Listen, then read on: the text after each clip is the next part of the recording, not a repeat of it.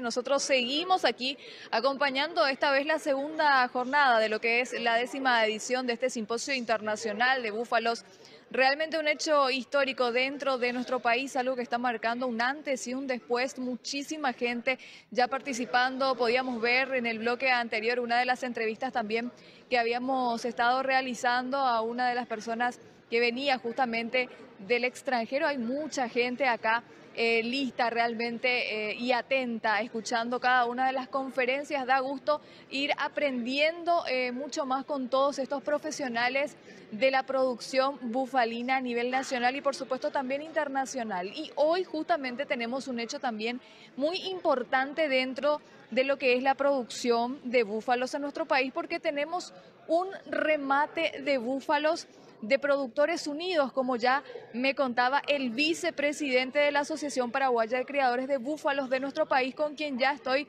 aquí en este lugar para darles a todos ustedes que están del otro lado muchos más detalles. ¿Cómo estás, vicepresidente? Muchas gracias por este tiempo. Queremos, como ya te decía, fuera de cámaras, hablar de lo que va a dejar este simposio y, por supuesto, también de lo que va a ser el remate de hoy. Bueno, buenos días, Katiuska. Gracias por estar acá con nosotros hoy, todo tu equipo, en un, evento mundial tan importante. Y es así, estamos organizando el primer remate de, búfalos de, Productores Unidos eh, por primera vez en Paraguay y esperamos que sea un evento que podamos repetir todos los años y cada vez con más animales disponibles.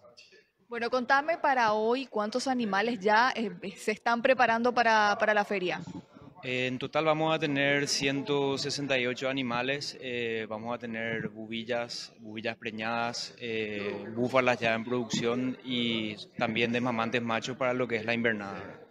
El, remate está apuntado más que nada a las personas que, quieren iniciarse en el búfalo y darle esa facilidad de poder empezar a trabajar con animales jóvenes que le van a producir por, por mucho tiempo. Eh, como ya te habíamos explicado antes, el, búfalo es, mucho más longevo y tiene la capacidad de tener mínimo el doble de crías que, un bovino, ¿verdad? Y también tener machos que, como para que el productor pueda eh, iniciarse en lo que es la invernada y poder medir las la diferencias en producción que hay con otras especies. Justamente esto que mencionás, eh, vicepresidente, es lo que también mencionaban ayer en una de las disertaciones, cómo hacer para tener un búfalo, cómo empezar a criar búfalo. Y justamente don Richard decían eso, vayan al remate de mañana que justamente arranca el día de hoy, pero antes tienen también un encuentro de confraternidad, una cena preparada a cargo del Ismael Salín, que tengo entendido que ya está cocinando un búfalo. Así mismo, así mismo. Y sí, el, el, problema de todos los productores que alguna vez nos iniciamos era de dónde conseguir los animales y bueno, no, no teníamos la posibilidad de ir a un remate y adquirirlo, entonces eh, esa es la idea principal, de que cada productor que quiera empezar o quiera agrandar su vato tenga la posibilidad de por lo menos una vez al año eh, tener un remate donde pueda conseguir las categorías y los animales que está buscando, ¿verdad?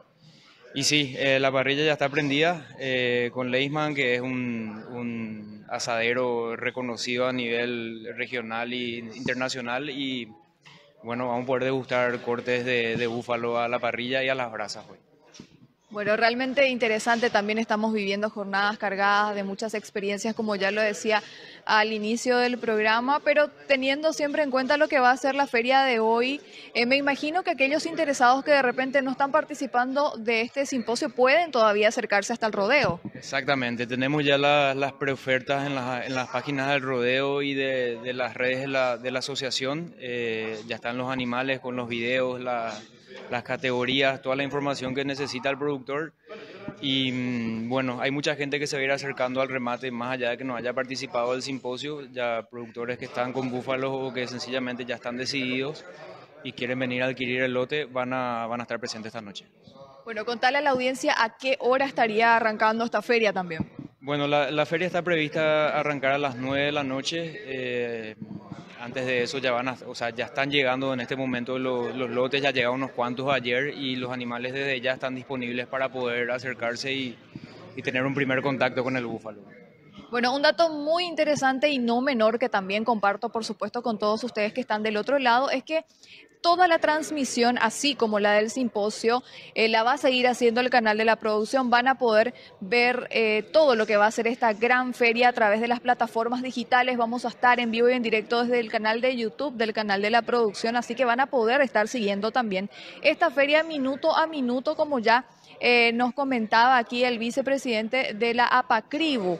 Hablando un poco acerca de lo que es eh, el simposio en sí, mañana tenemos ya el primer día de la salida de campo, la parte más linda, me comentabas vos, porque ya también las delegaciones van a tener la oportunidad de conocer cuál es el trabajo que hace el productor paraguayo en sus campos y con el búfalo. Así mismo. Eh, bueno, la, salida de campo está enfocada principalmente a, la, gente que, vino afuera, ¿verdad? También fue preparado para, para todas las personas que, quieran asistir y quieran tener su primer contacto con el búfalo. El día de mañana vamos a estar visitando Vela Italia y, Las Talas, que son eh, estancias que tienen búfalos en producción. Y pasado mañana estaremos por Santa Florencia, que es, la, es el campo de nuestro presidente, que también ya viene hace tiempo trabajando con este animal. ¿verdad? Es muy una oportunidad para poder tener, como, como te digo, el primer contacto con el búfalo a la gente que, que sigue con la curiosidad de, de saber qué es. Y detalle no menor también y que comparto con todos ustedes que están del otro lado, es que justamente eh, esta salida de campo no está solamente enfocada en lo que es mostrar a los que vienen del extranjero lo que hace el paraguayo con los búfalos, sino también compartir un poco de toda la belleza histórica y toda la belleza en cuanto a turismo que tenemos, porque vamos a estar visitando puntos muy importantes también. Sí mismo, vamos a estar en las ruinas jesuíticas para poder mostrarle un poco de, la cultura y de del pasado de Paraguay, de sus inicios y también vamos a estar por la Basílica Cacupé, que es un, un lugar eh, atractivo para, para, cualquier persona que viene de afuera. Bueno, yo me imagino también que ustedes como asociación ya van apuntando a lo que va a ser el año 2023. Eh, estamos cerrando prácticamente ya lo que es un simposio que han estado trabajando muchísimo en esto. Son meses y meses de arduo trabajo, un gran desafío también para ustedes como asociación. Lo lograron, ganaron, trajeron el simposio aquí a nuestro país y bueno, ahora eh, a, seguir trabajando, pero ¿cuáles son esas expectativas y proyectos para el año ya que viene? No, y sin duda el simposio marcó un antes y un después en lo que es la, ganadería acá en Paraguay, porque eh, paró la oreja de muchos productores, porque sobre todo estamos teniendo eh, capacitaciones e información de grandes exponentes, de, de, no solamente del búfalo, sino en la ganadería, lo que es nivel mundial. Tenemos gente que nos visita de Europa y de, toda América y, bueno, eh, gracias a ese empujón que recibimos de los de, los de afuera, ¿verdad? ahora nos preparamos ya para el año que viene poder tener eh, mucho más salida de campo, que es lo, lo, interesante, ¿verdad? Porque siempre es importante el primer acercamiento, el, productor que, que, se está dedicando a otra cosa quiere ver cómo produce un campo y cómo podrían llegar a producir ellos si, si están, eh, si es que llegan a iniciarse en el negocio, ¿verdad? Entonces, es lo, primero que estamos visionando es poder armarnos de salida de campo y poder abrir las puertas de nuestros de nuestra, de nuestras fincas a los a los productores que quieran conocer un poco más del tema. Bueno, y otro dato también importante que yo comparto con la audiencia es que hoy vos me vas a corregir si es así, ya vamos a saber también cuál va a ser la próxima sede del siguiente simposio. Correcto, eso ya todavía es de carácter secreto, pero sí, eh, en, este simposio sabremos cuál es la siguiente, cuál va a ser el siguiente país que nos va a recibir. Bueno, ¿ese siguiente simposio sería en el 2024? Está previsto para el 2023, si no me equivoco. Eh, está previsto para el 2023 y probablemente sea en Latinoamérica nuevamente. Excelente, muchísimas gracias, vicepresidente. Realmente un placer conversar contigo. Eh, también ya eh, comparto con ustedes que ya comprometí aquí al entrevistado del día de hoy a que vamos a visitar sus campos porque tiene producción de búfalos en dos puntos muy importantes del país, así que vamos a ir coordinando también con él para poder visitarlo y ver también y hablar un poco más acerca de las bondades de este animal realmente fantástico que estamos conociendo un poquito más dentro de lo que es este simposio, así que te agradezco muchísimo por, por el tiempo y por todo lo que compartiste.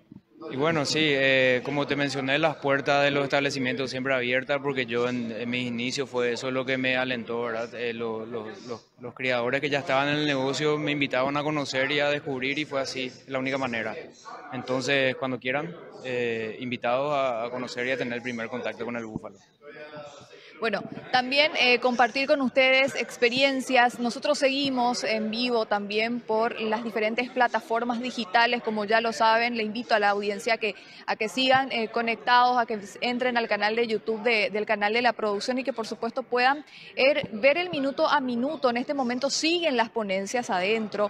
Eh, uno de los disertantes es justamente el presidente de la asociación, don Richard Moss. Y detalles interesantes, compañeros, que ayer iban compartiendo también durante la jornada. Varios productores que dejaron eh, a los bovinos y se abocaron netamente en la producción de búfalos. Hablamos realmente de propiedades inimaginables, de lo que son eh, a la hora de principalmente obtener rentabilidad con estos animales, animales muy adaptables, eh, por sobre todo también con esa capacidad que tienen de conversión de alimentos. Así que hay muchísimo todavía por ir aprendiendo y sin dudas como ya eh, lo hemos hablado con varias personas, es una actividad que marca un hecho histórico y que seguramente a partir de ahora se van a ir realizando actividades mucho más importantes y por supuesto también se va a ir visibilizando muchísimo más a este sector tan importante que forma parte de la ganadería nacional, compañeros.